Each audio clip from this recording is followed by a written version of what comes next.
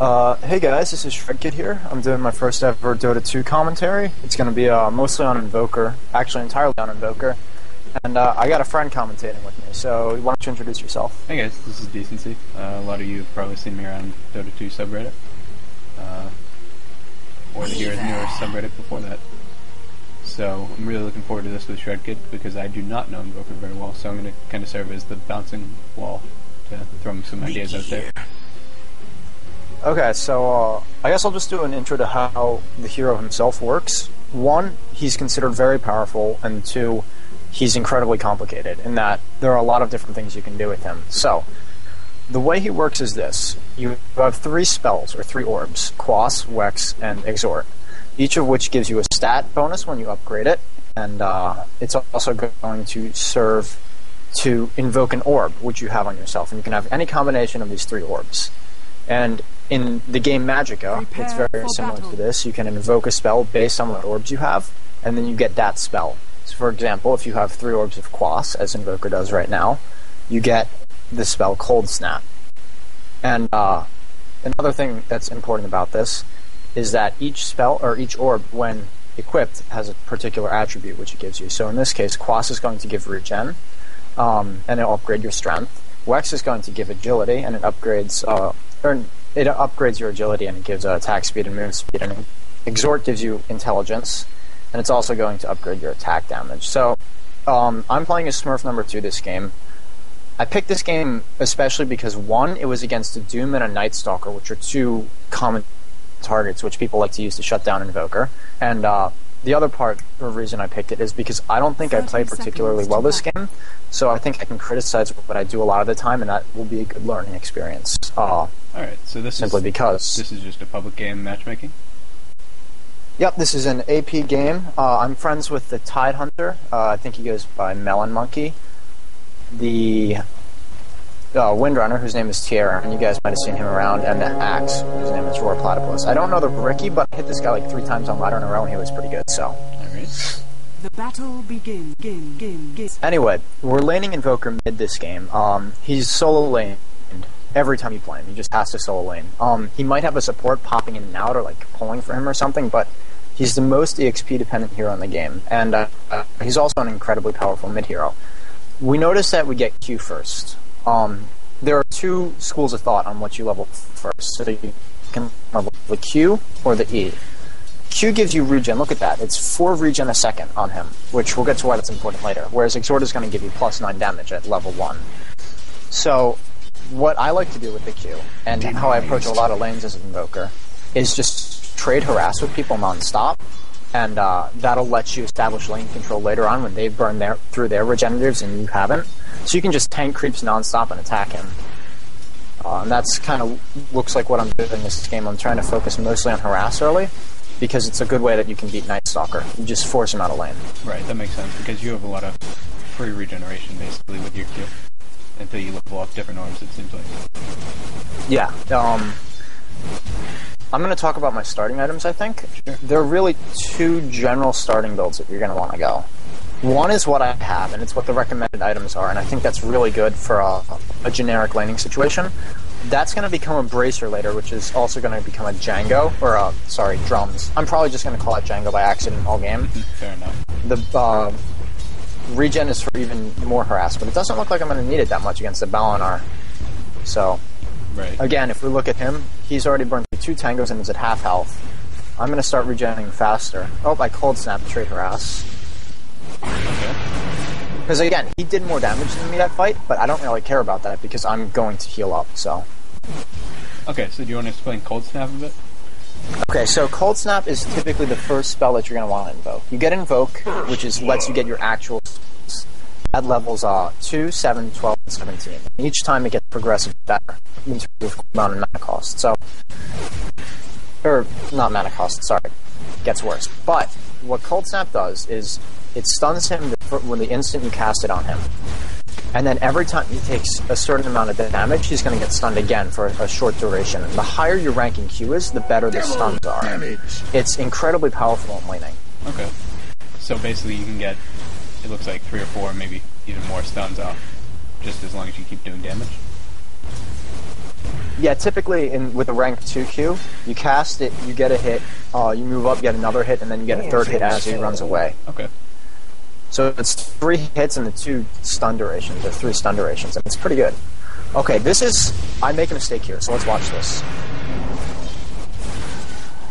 Fear quiets magic. Okay, so that what happened that fight was I opened with cold snap. He had a double damage, Okay. and I know that my tornado, which is another move, you have QWW gives you a tornado. We'll see that a lot this game. Dispels runes, so I know that I can get rid of that rune on him. Okay. So. So what I'm thinking a is, purge. you know, sorry. tornado is a purge then. Yes. Well, not exactly. It's weird. I honestly don't know exactly how the mechanics work, but it does dispel runes, which is the main thing you use it for. Fair enough. Um, and it- yeah, and the mechanics have changed since Dota 1 to Dota 2 slightly. So, anyway, let's explain what happened in that fight because I haven't gotten to that. Sure. I know he's going to go on me, so I cold snap him. He's going to start smacking me, and what I want to do is immediately um, tornado him to get rid of the rune and then kill him. Unfortunately, I get worried when he silences me at a really good timing, and uh, I start thinking maybe I can't win this fight. And uh, if I was playing more aggressively, I would have gone for it. But if I die in this lane, the whole game is thrown off. Because the point of this lane is that I'm supposed to be dominating it. And if he gets a kill, everything's messed up. Whereas if I get a kill, it's kind of just going how it should be. So that's why I played it safe there. Right. I also noticed you were tanking the creeps during that fight. You were a bit ahead in your creeps, so you were kind of at a Yeah. disadvantage to begin with. Dire's middle tower. Also, this attack. player, I know this player Butters. Uh, I hit him on the ladder all the time. I guess we just play at the same time, and I know that he's pretty good. So Okay. I was kind of worried about that. Maybe he'd pull something out. So notice that I'm not controlling runes this game, Right. or at least yet. It's because it's daytime, and I'm not really worried about NS getting a rune while it's daytime.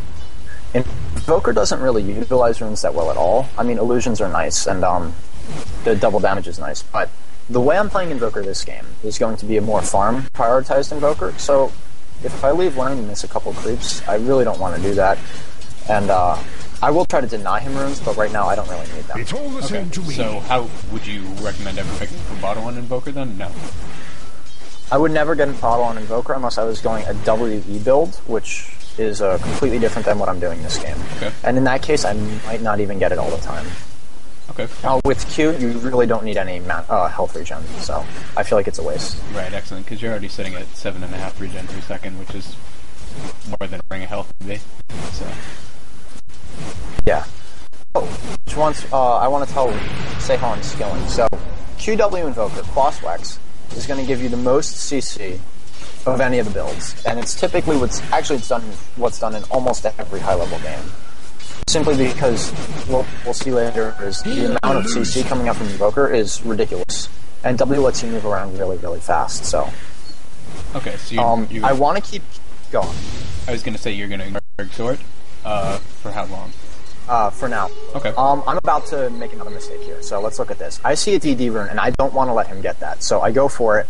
He gets it. I tornado to try to get him off me, but I'm going to die to a Prophet gang. Okay. Uh, you're a few seconds ahead of me. Damn it! Okay, I'll, I'll pause for three seconds. All right. So yeah, that was a good, good map Darkness awareness and by Prophet. Ignorance take you all. And It was a pretty good play. Um, I didn't want to let him get that because if he gets that, our Windrunner dies. Okay. Like Windrunner just can't live. So what I should have done was tornado before then. I thought I could beat him to the room, and I didn't.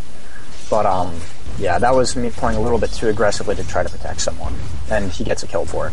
Sure. Also, you'll notice I invoked Ghost Walk, which is a spell which gives invisibility, but I didn't have the mana cost to use it, so Yeah, that's a very steep mana cost for 200 just for a. it's a it's a really good invis. Yes, it's a really good invis. Late game, you can use it to slow an entire team down.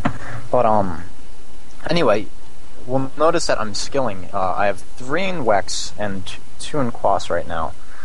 Um, if you can get away with it in lane, I always try to get two in Quas and then get like four to Wex because it gives a really, really good tornado. It makes the tornado range longer, which is what you really want for early ganking and stuff. Yeah, I'll mouse over And, uh, as soon as it comes up. Yeah. I'm trying to use Invoke right now to get Ghost Walk off cooldown because you don't. Oh, let me talk, talk about how Invoke works before I talk about that. So you have two. Once you hit level seven, you have two spells at all times. um, when you invoke a spell, um, that goes to the first slot, and then the one in the first slot moves to the second. So you're always going to want to have a spell like Tornado up because it's so useful early, and it's like good for stopping people if they're running at you, or uh, it's just really, really generically good. And ghost walk you don't want up because it's taking up a slot, and Invoke has a cooldown, so you don't want it being one of your spells. Um, I'm making a mistake in not getting that off right now. I think I'm focusing on CSing or whatever, but that's another mistake coming out for me. Okay.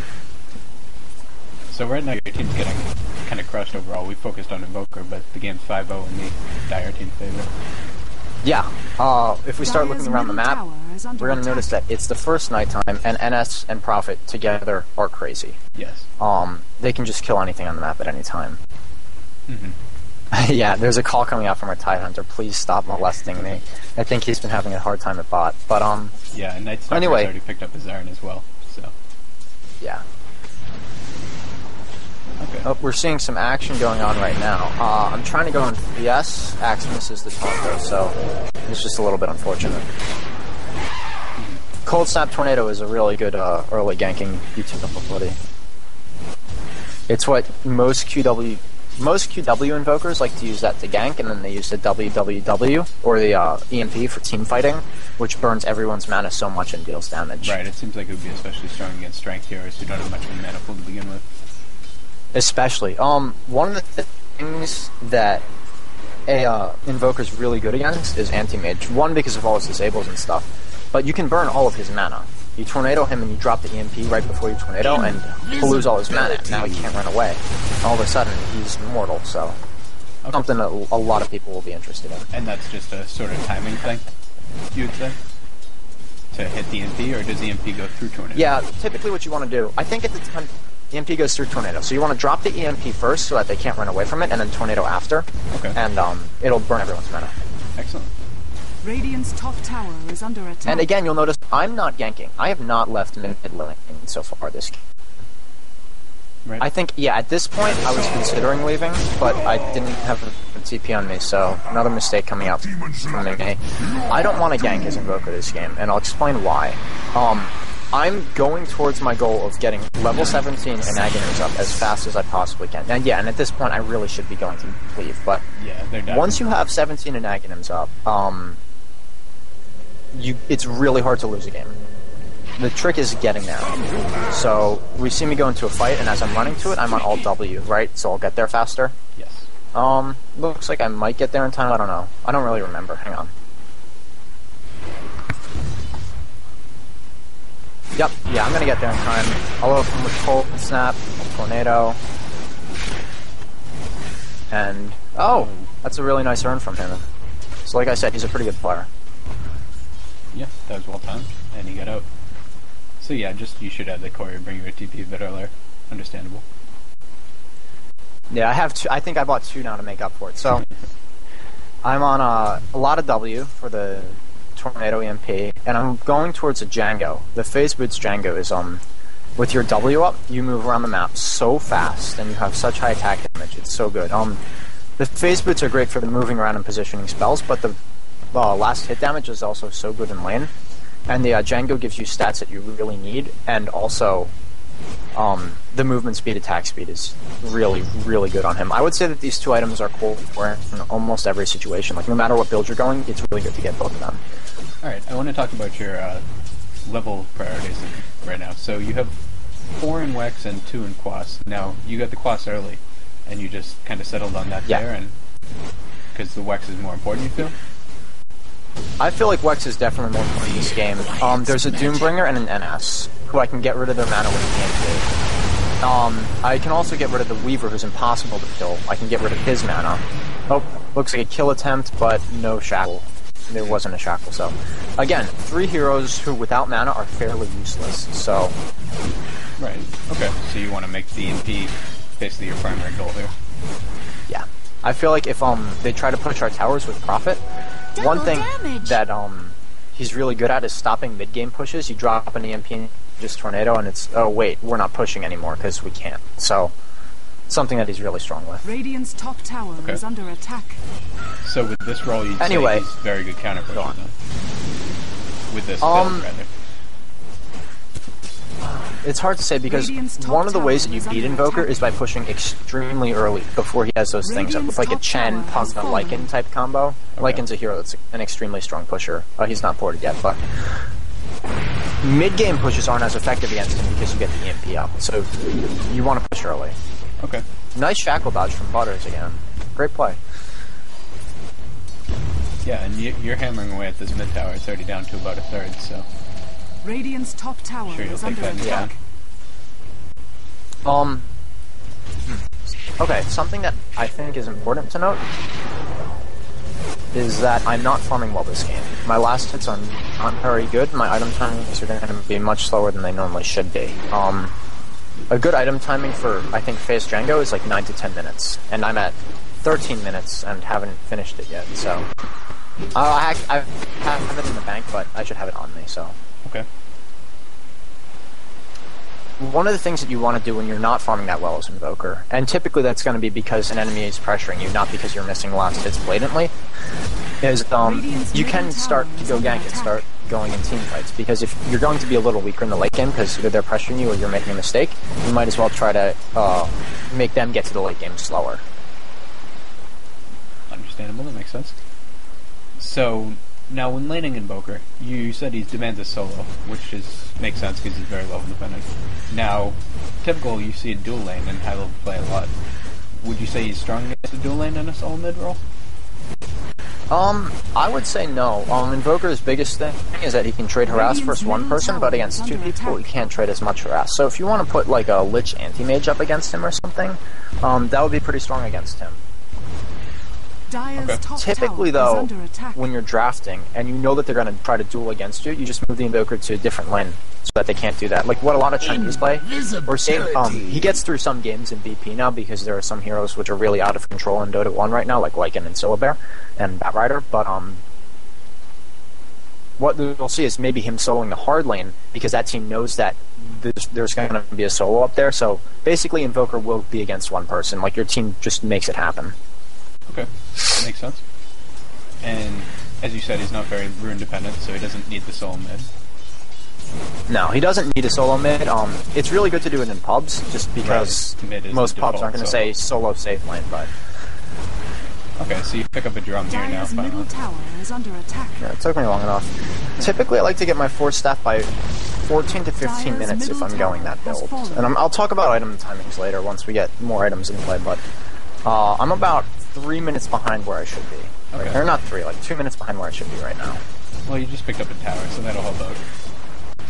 Definitely. Okay, so it looks like we Anyway. see some action happening bottom, or posturing at least.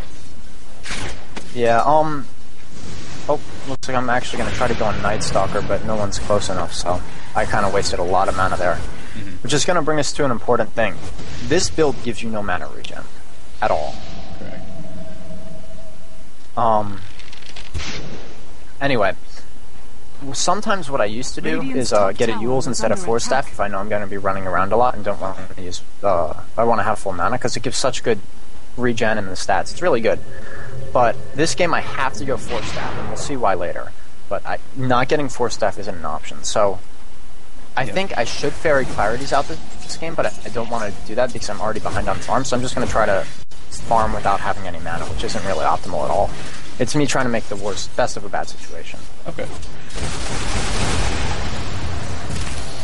Fairy and Clarities out is a thing that I do a lot personally. I don't know how much other people do it that much, but um, when you're going this build, I might die here. Hang on. No, I'll be okay. Yeah, we were choosing not to die. Yeah, so now you're back to the well, so seems like you can make your mana last quite some time because you're not really too active in ganking.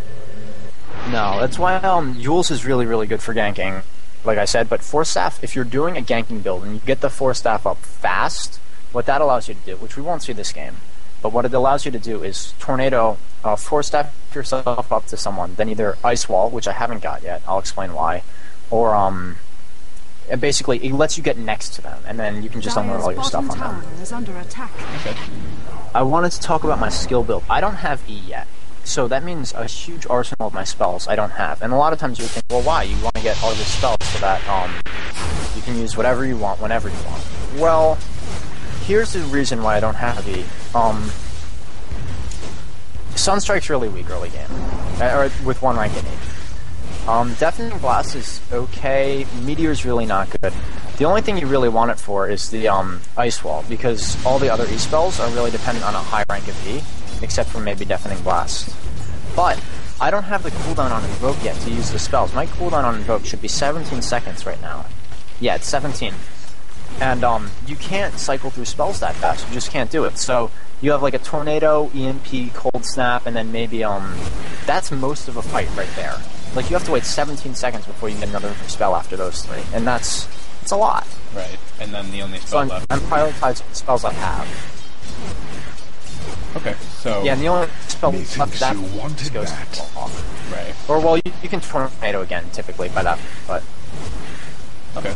So yeah, in that fight we just saw you actually burn all of Furion's mana, and he just had to bail. Alright, so you're going on Night Stalker here. The tornado hits, the EMP hits, and Night Stalker down to one mana. And he'll fall. That was a pretty well You've coordinated been guy. shafted. Radiant's middle tower Yeah. is under attack. And we'll skip right through that pause. Glad it does that. um, looks like Weaver.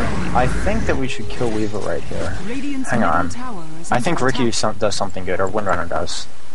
But Radiant's middle anyway, yeah, he's just gonna falling. get shot and die. Radiant's bottom tower Oh, I tornadoed him in Invis. A tornado doesn't take people out of Invis, by the way. It doesn't Caught do in the that. Okay. If you can But- see me, you're already dead. It looks like they're gonna take our first tower, and tower this is is the point at which I'm gonna be starting to be concerned about Radiant's team fights and more importantly. Doombringer. Because if I get doomed in a team fight, we lose the team fight. Okay. Um, so this is one of the reasons why. Oh, I'll talk about that later. But the reason why I like to get force staff against the Balanar is because you have to get in the middle of the fight to use a lot of your spells, like tornado or not tornado, like uh, ice wall. So you get in, but then he silences and slows you, and you force staff your way back out, and then he can't hit you. okay. I was actually It's not quite as good against Doombringer, but I was actually assuming you were getting the force staff for uh, Furion, or Nature's Prophet. That is. It's also oh, good it's good against him. him too. It's good against VS because VS is um a positional hero, so you can you know save yourself if you get swapped. A little bit of BM coming out from more platypus right there, but okay. Um, the reason I got point booster before I force staff this game, which is something I rarely do, is because Doom. Um, I'm really really worried about getting doomed, and I think maybe if I get the point booster up first, I can survive a Doom and then uh, try to turn the fight around and let everybody get away with tornado and stuff. Okay. Yeah, the stats on Point Booster are exceptionally good. Okay, so looks like a fight's happening mid here. We're gonna heal EMP. EMP And actually doesn't land. That's a mistake that I made. Um, I think at the time this game was played, the EMP range was still half of what it should have been, but um, typically you really should drop the EMP first because that can happen. Okay. Anyway, uh, solid leveling thing, which I think is really important. I get the E before level 12, and level 12 is when you get your next rank of Invoke. So, um, I want the E before then because now I can start throwing down ice walls more often Right. which I think is pretty important. And I can start using Alacrity if I need to, which is makes you attack really fast and with more damage, or anybody really. You can cast it on anything, even catapults. So I want to get that stuff up. Right, and it, the ice wall is only the damage actually gets boosted from having levels in Exort, so you don't really care too Yeah, much about that. um, you don't. It doesn't matter. You just want the ranks in the Q for that, which is why I level Q up to four. A lot of people leave it at two or three, but I like it at four because of ice wall and cold snap mostly. okay. Anyway, um, I think right now I'm telling my team that I don't want to fight because it's nighttime and I think Doom's around somewhere. So I'm saying let's just farm. I want to.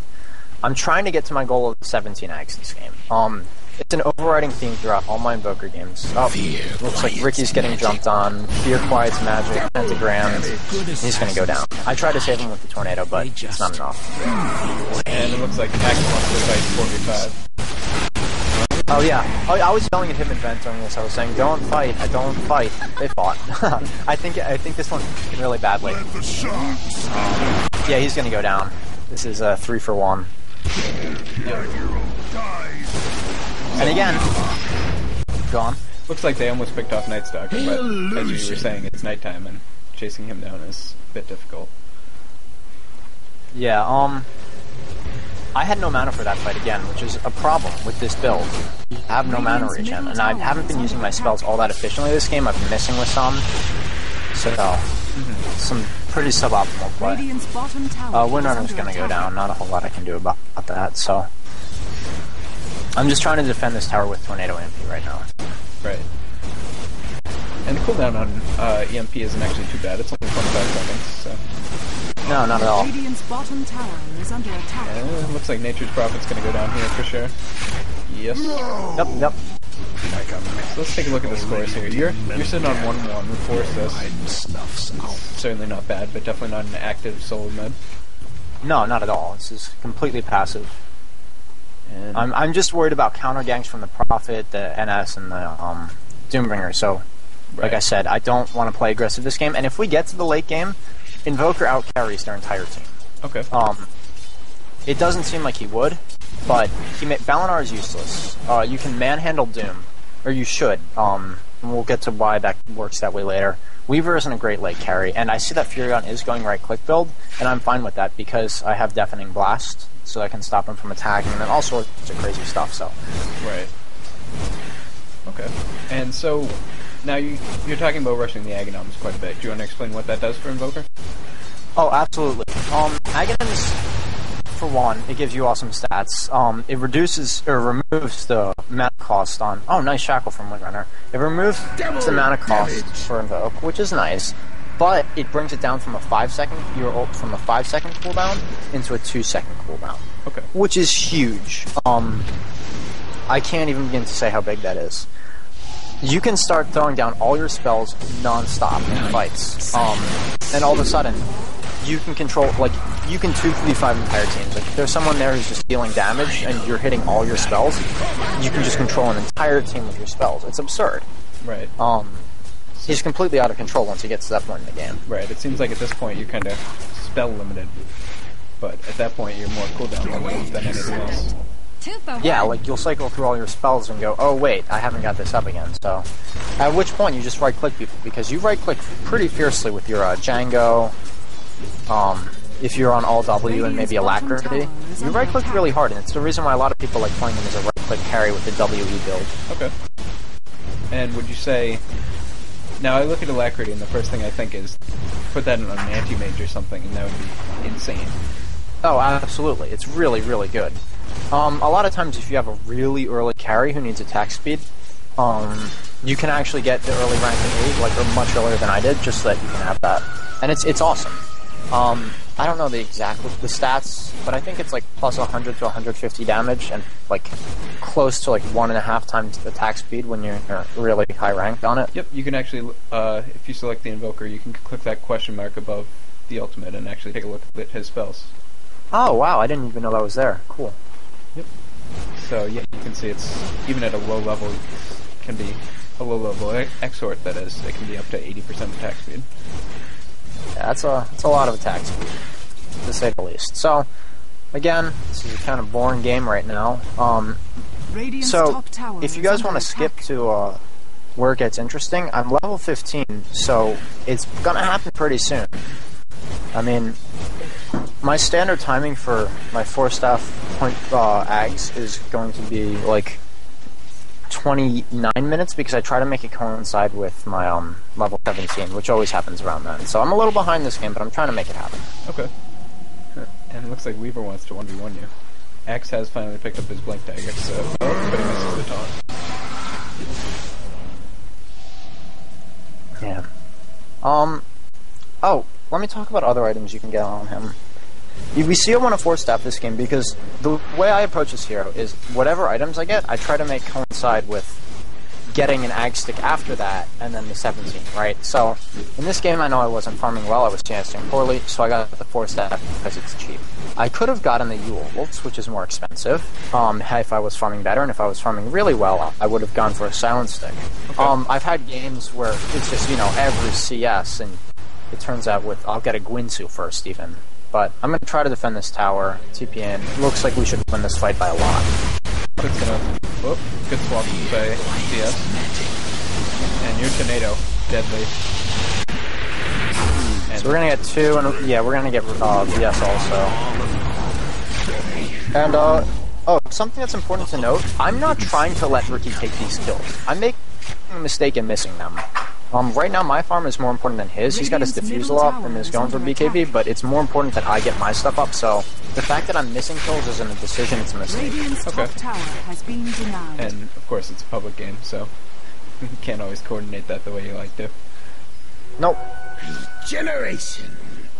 Um, well, notice that I haven't really been doing this game at all. I haven't had any problems with the uh, the their silences on that team. So Fear what this means magic. is that I'm feeling very safe in my build right now.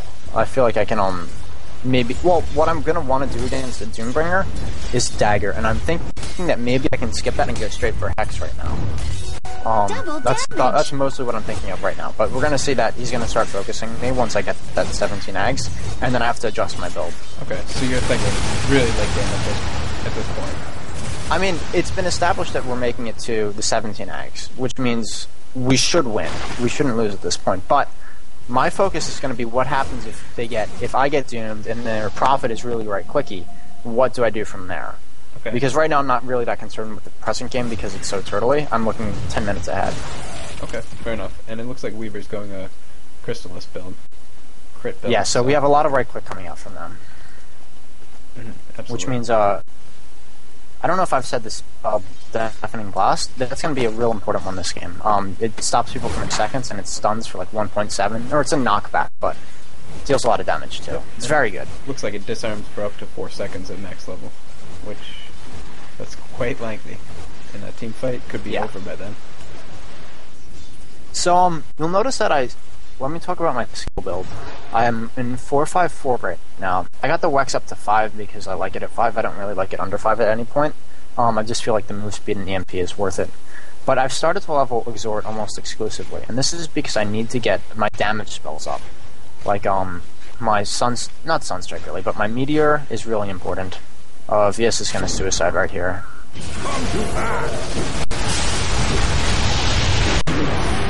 Okay. Well, let me talk about this fight because I'm making another mistake right now. I want to go in. Um, I think I should have gone in, but I was really, really worried about the NS nighttime and silence because I remembered it hadn't been night for a while. So and I always thought that Furion might TP, and all of a sudden I get silenced and killed. So that's why I didn't go in. Turns out it would have worked out. Whatever. Right. Okay. So see the force staff. Force staff up, but I'm making another mistake. I'm not on all Wex right now. I should be on all Wex to run faster, and I wasn't. Right now, I should invoke Sunstrike, or that's on cooldown. But I should invoke Sun when I can, so that I can Sunstrike him for the kill. And I don't. I just completely skip it, which is another mistake from me. Like I said, I picked out a bad game so that I could um point out my mistakes as opposed to a good game, which I point out what I do well, and then I feel like a pretentious jerks. So. Yeah. So it's always easier to call it mistakes than it is to praise. So hopefully this is So- helpful. Yeah. Being on Wex all the time is really good when you're in full region. I haven't really stated that, but Wex is really good. And right now I'm on the Tornado uh, setup. I should just be on all Wex. But that's a time to Dire's middle tower. is um, something about attack. Invoker is that there are so many little things which you can be doing at all points that it's really, really hard to optimize. Like even if you watch someone like Ferrari 420, who's probably the best Invoker player in the world, you watch him play, you'll see him make mistakes like that occasionally. It's just he's so hard to optimize. Definitely. And that high skill ceiling is what makes him terrible at some times by some players and amazing at others. That's great to see, in my opinion.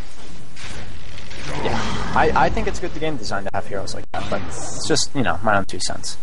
Anyway, I should have Ags up. I am 17 now, but I don't want to fight. I tell my team, just like, stay on our side of the map, guys, we're gonna turtle. So I'm gonna get Ags up, and it's about to get exciting. I'm about three to four minutes late on where I should be, but that's okay. Anyway, we got team fight going on top. It looks like we'll be all okay. Yeah, Riki's just gonna waltz out of there, and Windrun is fine. Yeah, he picked off two kills, so and it looks like you should have your Aghanim's finished. Yep. On the core. And I think we're going to see a drastic. I hope we will, because I don't want to show you a game where I get 17 acts and don't fight. But we should see a drastic change at this point, and I should start fighting nonstop. Okay. So yeah, I'm running over there right now. I want to fight. Uh, the tornado EMP is on cooldown. This is again, Doombringer. Fury's gonna go down. Well played. I do my work at the cutting edge. Yeah, and Rikimaru with BKB up. Yeah, that's excellent. That means uh, Night Stalker is not an issue anymore. So, we're gonna take a look at the gold graph. Oh, yeah, there it is. I'm gonna explain why the gold graph's wrong. Um, Okay. or misleading. It's because factually it's right. It's misleading because all this game we, I was letting ourselves get. Oh, I'm gonna force staff up looking for people. Double damage. I run around behind. Oh, there's the Weaver, but we can't get him. Anyway, this whole game strategy was is under attack. give the farm to Invoker so that once he has it, you just win. So I was sacrificing team fights in order to win team fights later, which is why even if our gold graph is losing, we were winning the game at the time because now we're an advantage Dire's top tower to do very well. Okay. Actually, good, good deserved his there. Uh, Batty and goes down. I should ice wall here, hopefully. Ice wall is okay. Yep. Cold snap. Hopefully a deafening blast, a meteor or something. Okay, there's a meteor, but it, was a little bit late, and a deafening blast was working great. So it was kind of a poor team fight for me. But at the same time, you have to acknowledge that through that fight, you cast six or seven spells, it seemed like, out of a possible ten, so. Definitely. Oh, I tried a Sunstrike him, I missed by just a little bit. Oh, I didn't see that one. But um, anyway, something that you should always do once you have the 17x up is have your Forge Spirits out at all times. So you take them out, and then you get that spell off your list as soon as you possibly can. And it's really easy to do. And they, what they do is they actually shred your armor. So every time that they hit something, they take its armor down by one, up to minus 10. And uh, that's really, really good against people like a Doombringer, who naturally his base armor is like what Zero. two. No, it's literally zero. Or it's, it's zero. Right now it's two, but it's zero at the beginning of the game. He's gotten a lot of armor since, but it's mm-hmm. really good against people like that. Okay. Anyway, Now, would you use them to, to jungle, or just at the when you anticipate a team fight coming up? I always have them out at all times. Okay. If I don't have them out, it's not a decision to not have them out. It's me being absent-minded. Mm-hmm. Platypus not Oh. very happy. I told him that he had to buy a gem, and he was like, "You know, I don't want a gem. I can, uh, I can just find where he is and call." And I was like, "Dude, get a gem." So he was upset about that.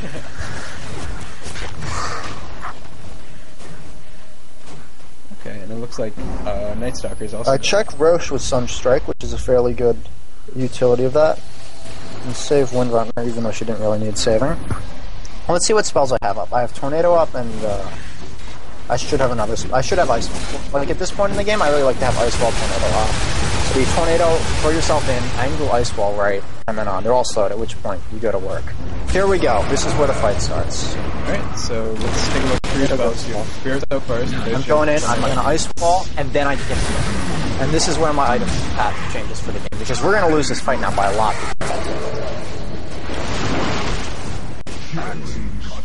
We just lost two people because I let myself have that happen to me. So, here's how I approach Doombringer, or how I like to approach Doombringer as Invoker. I really like Dagger against him because in this case, where I'll force staff myself in and then lay down the Ice Wall, which is I, I should have mentioned how good Ice Wall is. It's absurd. It's one of the best disables in the game. The slow is just. I, I don't. Let me take a look at the percentage. Well, I was looking at it and it's it doesn't quite make sense to me because it goes over 100% slow, which just doesn't quite make sense. Yeah, it's a lot of slow to say the least. Oh, they're gonna get hurt. Um, I'm trying to deal some damage right now. I should get a deafening blast up. I don't. I invoked a spell that I already had on cooldown. So, again, what I should have done there was um immediately deafening blast and meteor when they're lined up in a perfect line like that. That would have been a double kill, and instead we only got one. But anyway, back to the dagger issue. Um, what I want to do is um, throw down. This is sounds like theorycraft, but it does work. I promise. I want to throw down my um, tornado EMP, um, invoke. Then I get want to get my, excuse me, deafening blast and ice wall up. So I deafening blast right when he comes out of it, dagger in, drop the ice wall, and force staff out. And all of a sudden, I'm safe because in that window of which in which deafening blast disables the Doombringer, I can get out. Okay. And um, at that point, I cast my stuff from afar. Like um, my alacrity and cold snap and stuff can all be cast from far away, and spirits I don't need to be there for them, so it works really well. Okay.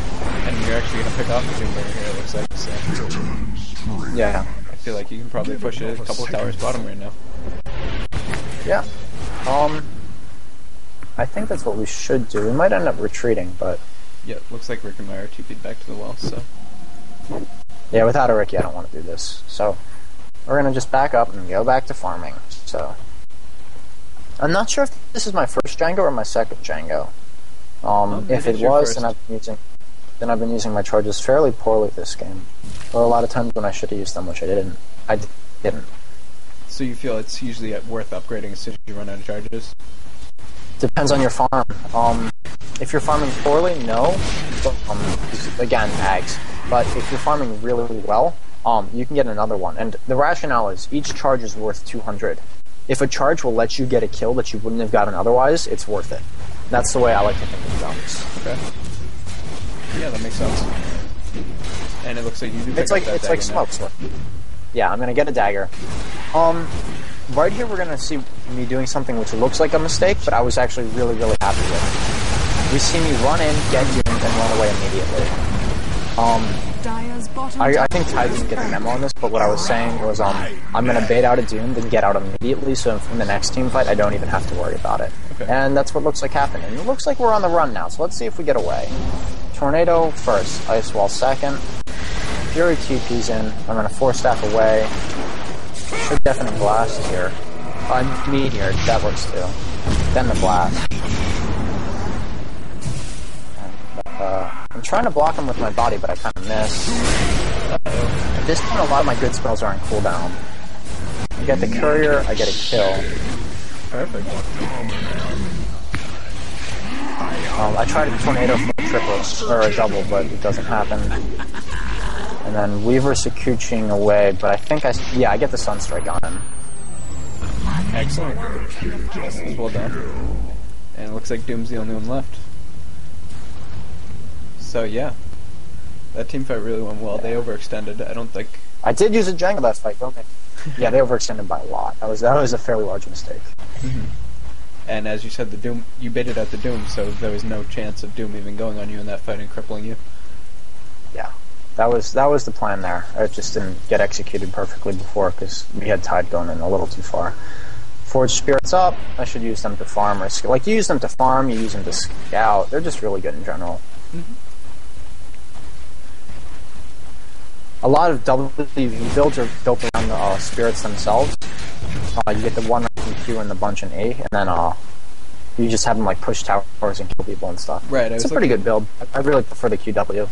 I was looking at uh, Alacrity also, and that you can cast that on a tower siege is creep. I under noticed. So Oh yeah. Um, is that used? are the only time I remember when that was introduced, it was at a time when Invoker was even more out of control than he is now. Cold Snap was better, and it worked with Order Venom, so like he was absurd.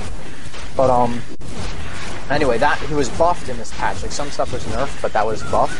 And there was all this theory crafting going on of, oh well, if you're trying to push your tier three racks, but you don't want to go into the high ground, you just cast it on the siege creep. And um, turns out it doesn't really work that well. But it was a, it was a cool idea for my Strogg. I think. Fallen Radiant. Oh, I forced staff up, and we was gonna go down. Radiant's bottom tower is under attack. yeah, Radiant's and now you're free bottom to push tower again, has fallen. or we'll see if you back up again. I don't know. I, don't remember this game that well. Um, uh, we're gonna back out with Wind Energy being out. We're gonna back out, I think. And to be fair, there's no real reason for you to push because you do have a late game. I feel like anyway. Yeah. Dire's middle tower Uh, is under attack. I should hit a Sunstrike here. Hopefully. Oh no, I get him with a tornado. Tornado. EMP. Uh, I'm gonna get. I think. Terrible meteor. That was awful. And then I uh, push him back and try to save the Tide Hunter. And Dire's middle tower is Tide Hunter is gonna live, so that was a success. yeah, you get two kills, so not a bad fight. And what's your move speed right now? You're sitting on 418 move speed with three Wex up. And I'm not even phased right now. right. Uh, I think with four Wex, phase boots and Django, you're 452 when you're phased. 472 right now when you're phased. so Yeah, that's the uh, two more, three more ranks. near permanent. Rex. Yeah, it's it's he's a silly hero. Um, I'm gonna want to shoot for sheep stick right now. I think I'm thinking I would have gone for the silence um, if Weaver was a problem, but he's not. So I'm just gonna go for sheep because I think Furion's gonna get kind of out of control. We look at his items, which we really haven't this game, and I wanted to talk about this, but I didn't. Where is he? There we go. Um, he's going full right click. He has the MKB Ag Shadow Leaper. He's probably gonna get like a crit stick out or like a, you know, typical right click theory build. Warriors of the wood. One of the reasons why I felt so safe in Turtle in this game and farming is because he wasn't ganking. Had he been ganking me, I couldn't have done this because of NS and him. I wouldn't have felt safe at all, so I would have had to gank myself. But because he was going late game, and I know that Furion late game is easily controlled, um, it, I, I felt safe in farming. Right. He is sitting on Like, I- 480 gold per minute right now, but doesn't a seem like he's done too much with it. No, I don't think. This is a complete another topic, but I don't think this is the right way, way to play Furion. Anyway, um, that aside, we see we finished a hex out from Windrunner, which is going to be important from With me. disabling key silencers against me, mostly, so that I can have a little more freedom to move around in team fights. Yep, looks like you're going on the Furion here, but he's got both ours, so uh, Shadow Blade that is. He's just gonna walk out. So now, if you pick up a sheep, what exactly are you getting rid of here? What's your first priority item to drop? Um, I would get rid of nothing. I would get BOT in this situation. Right, I forget. When you go dagger with this, the core item stuff, the phase, Django, um, Ags, Force, or Euls, or whatever, I actually prefer to go BOT first, Okay. so that you don't drop anything. Because I don't really like dropping any of those items. And with BOT, the move speed is going to be insane. Yeah. It's to say the least. You're, you're practically like Weaver. And with the dagger force staff, you're wherever you want to be on the map at any point. Mm-hmm. Okay. And you are sitting on 3200 here, so we'll see what you pick up at some point. It should be it should be a BOT, definitely. Um, what else happened? I talked about this game. MP, Ice Wall, Ghost Walk. I haven't had to Ghost Walk at all this game. I've used it like twice. Right. Now, I, I usually see people just holding them in reserve to to get away. Would you say that's Shouldn't- the common usage? You should never hold it in reserve unless you're really, really expecting to smoke gank with dust. Like, um, for example, if you're laning mid, or very early, one of the times you might build differently is if you're against a coordinated team who wants to control Invoker. You get the W at level 3 so that you have Ghost Walk up, and you know that they're going to smoke you with the dust, so, uh, you might, or without the dust, because you want to check your inventories, but, um, you want that in control then so you don't get chain CC'd in some situations. And if they're all missing and you're expecting them to go on you, you can have it. Also, when you're um really like game like this with 17 eggs, um, it doesn't really matter if it's up if you're like expecting to get ganked because you can just use it. But with the dagger force staff, I'm not really worried about getting ganked at this point at all. Right. That's understandable. Especially, you could just pop three W's and have 500 move speed, so. Yeah. Alright, looks like they're going on Axe. He's gonna fall. Oh, I'm about to make a, almost a game-changing mistake right here. I thought they didn't have vision up the high ground, and they did. So I was standing there. I was getting ready to line up my own. I ghost or ice walled the ramp so that when they run up, but they're slowed. I had meteor EMP up, um, or I was gonna have it up, and that would have just killed their entire team. Hang on, we're trying to escape. Let me let me talk about this. Uh, tornado is gonna slow them down. We should all get away, but NS is really fast. You do hit full with that, but good check of the window and Okay. Yeah, he does not move fast, but um, someone's gonna get Furion. Upon the tides. I'm just trying to book it out. Um, I kind of want to fight at this point, but I think that my is right spells aren't up, so I'm kind of worried about that. Here's, yep, I'm gonna make another mistake. I should meteor immediately. I don't. I should sunstrike right then. I don't. Tower has fallen. Sunstrike is a split second too late. And you haven't talked about Sunstrike yet, but It's a global nuke with a two or 1.7 second delay, I believe. I might be. wrong. yeah, and one But thing it's that was about- interesting to me was the damage is split between all the under targets you hit. attack. So Absolutely. So it's used for really taking down fleeing heroes as opposed to like uh, farming or whatever. A lot of times you can use scout, like if you're sort of like a clock missile, but it's really not good and it's only good late game once you have the cooldown for it. okay, You can like a Sunstrike where you think they're going to run by, and maybe you'll get lucky and find them, but it's hard to do. You'll notice I'm maxing out um, E and W at this point. Actually, I'm all equal, but the E and W I was getting up high because that's where my damage is going to come from, and they have more damage dealers than us, so I kind of need to take up that role. Murky's going to go a little bit too deep right there, but he is going to get the tower, which is nice. But anyway, like I said, that team fight before with the ice wall, them running up a ramp in single file is gonna be the best way for us to kill them. Um, the tornado EMP or the blast meteor will just kill all of them, and I thought they didn't have vision, and they did. So that's why that fight went so badly. Right. So looks like they just had dropped a sentry ward prior to the fight. So just bad luck, really. Sneaky, aren't I? Alright, so you're sitting on 4700s here, so you might even have enough to die, buy back, buy BOT, and be right back in fight. That's actually what the plan was at this point. Um, ice wall up. I'm probably gonna get doomed. Yup. I should have daggered in, then ice wall. I did it backwards, and that was my mistake. So dagger force staff, but that's my theory crap not working in real life. Uh, most of the time it does, but I made a mistake there.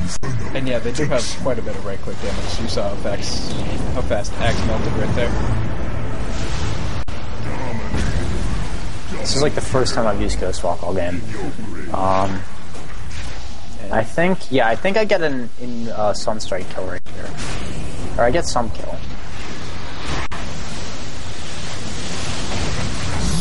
Yeah, I get the Weaver, but, or the yeah, it was the Weaver, but that's it. Stands against me. And I shouldn't have got doomed. So Stands briefly.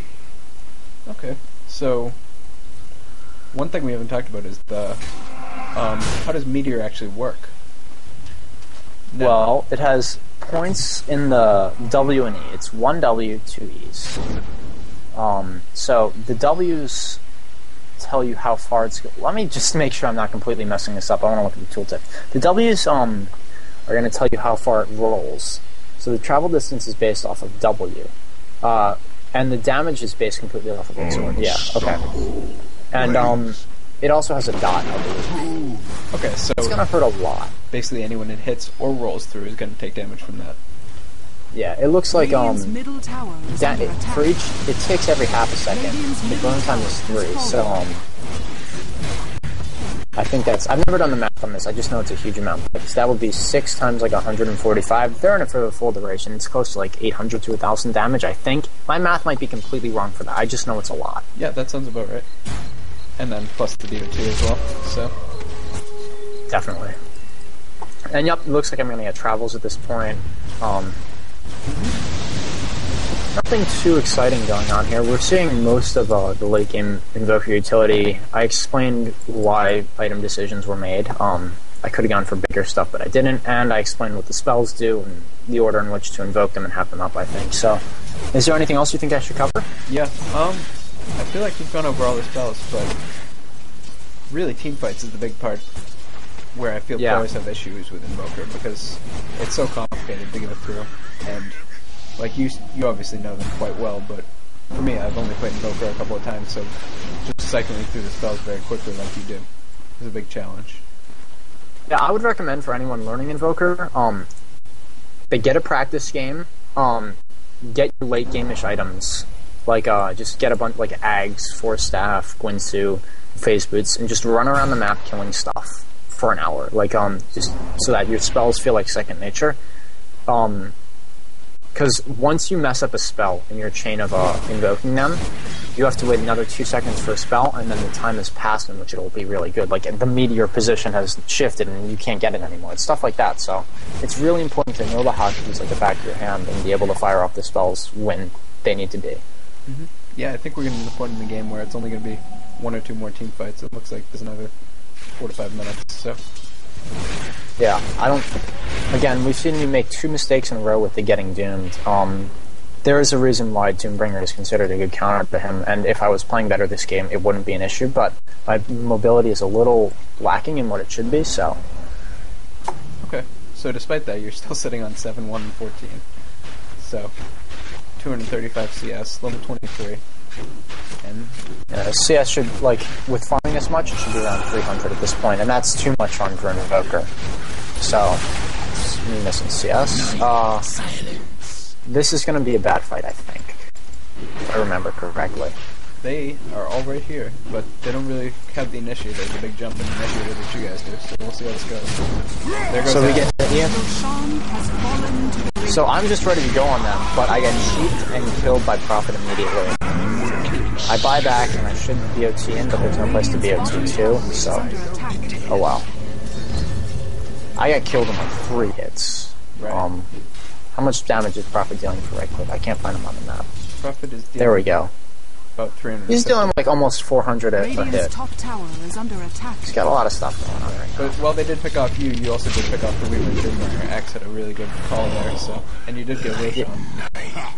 Yeah, if you notice, um, when they were all lined up like that, that's when Invoker shines. You saw the deafening blast deal damage, and I was getting ready to meteor and ice wall. Oh, something that's really important about ice wall is that you want to angle your body. People don't think of it as like a skill that's hard to use, but if you angle your body just right, um, like in that one, I would have angled it so that the um, it's running parallel to the sides of that ramp, so that they cannot get it. Like there is no place they can run to get out of that. And ice wall lasts forever. They, that's an automatic one fight if I can get that down, but I didn't. So. Um, the positioning ice wall is really important. I definitely blast to save Tide Hunter here, but it's not going to be enough. I should QQQ him, or uh, whatever it is, the stun. Cold snap, yes.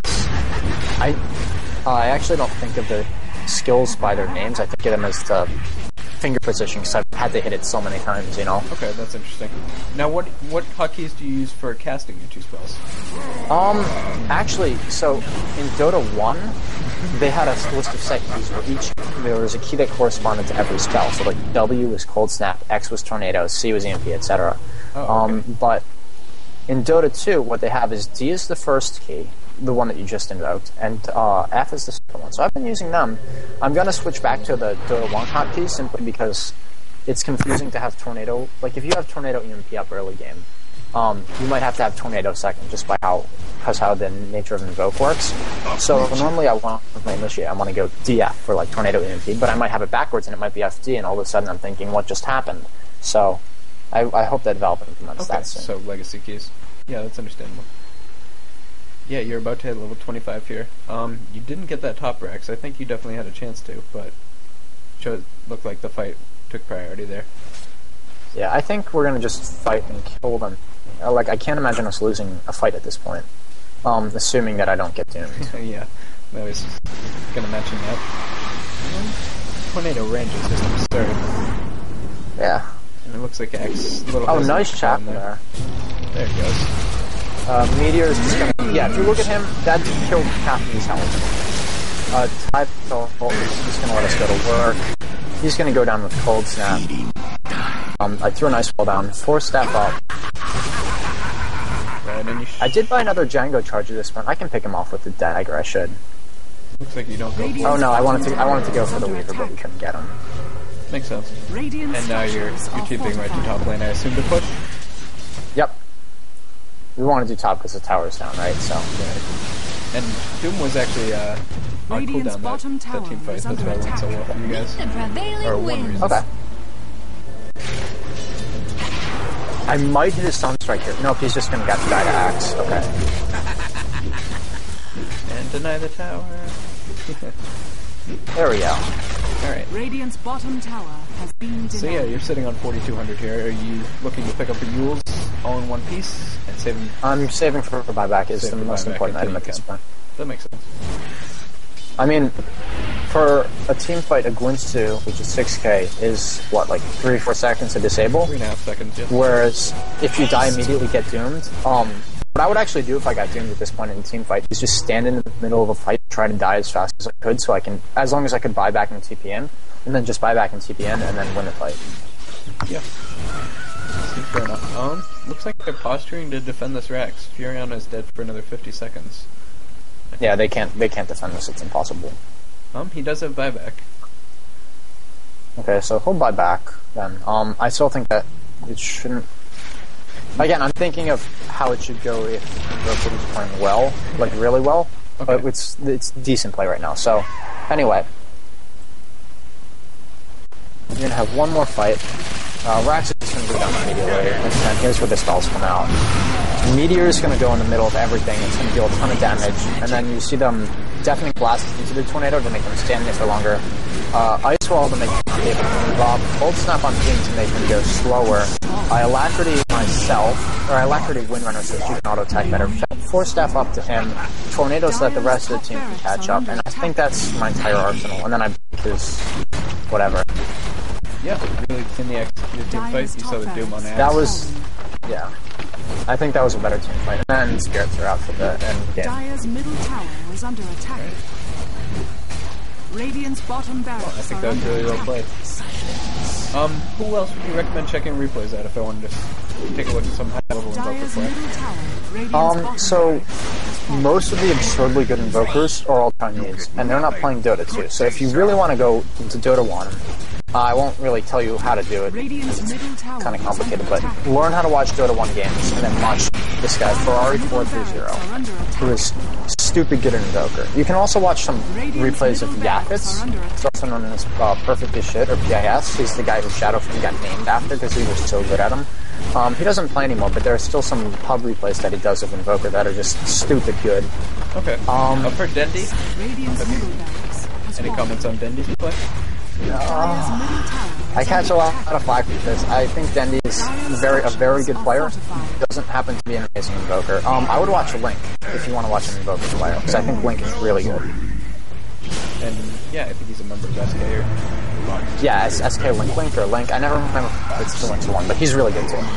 I think um Pajkatt. I think he's playing for EG right now, or Pajkatt is what it looks like. P A J K A T T was one of the first really good European invokers who kind of showed everybody how to play him. So Okay. He's another one to check out. I don't. Again, I don't have any replays of pro invokers though, so that's why we're watching me, so I can like criticize my own mistakes and uh, not seem pretentious because I don't have replays of the pros that aren't Dota one. So Right, and a lot of players not very familiar with Dota 1 if they're stepping into the scene new. So, yeah. alright. Um, so let me talk about real quick how you beat Invoker. Um, just while we're waiting for the game to end, Please. you can beat him. Go on. No, please, go. Okay. You can beat him with early pushing, um, huge pressure in lane, and um, Doom with Blink Dagger is really good against him. You rarely see them do it, but Doom should get a Blink against an Invoker who knows how to beat the uh, Doom. Silencer is not so good against him because Last Word isn't big enough, like a big enough AoE. Um, is fairly good against him because of the uh, The Ward. yes. if you hide it well, yeah. But what you do in that situation is you get the Forge Spirits up and you just have them go on the ward. Problem solved. Okay, um, would Um, you ever consider a BKB on Invoker? Say they had something like a Bloodseeker or... Yes, absolutely. And, I would. Um, BKB is basically you, you either go for positioning and hope you're good enough to get away with it, which in this game I wasn't, or you can go for the BKB, which is just problem solved. right, but... BKB is pretty good on Invoker. Um, I would never really rush it unless you were doing a really weird um, auto attacky WE build, in which you went like Dominator BKB or something. But Okay. Yeah, and obviously it doesn't make sense in this game against Doombringer, because Doom goes through BKB. yeah, And just correct me if I'm wrong. Invoker isn't. Oh, oh Ice Wall on two heroes, I think. And this is just gonna end the game. When Ice Wall hits that many people, it just doesn't work. I get tuned, but I don't care at this point. Might as well just run in and right click people. Yep, exactly. Yeah.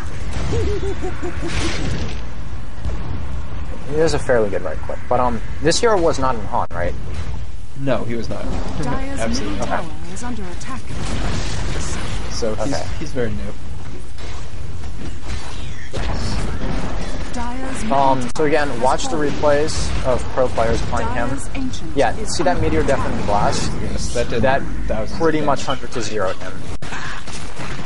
Alright, So, and again, happy, is under attack. uh, happy Invoker. Alright, Um, thanks for watching guys. This is Decency. I'm here with Shred Kid. this is Strike And And you enjoyed thanks. This is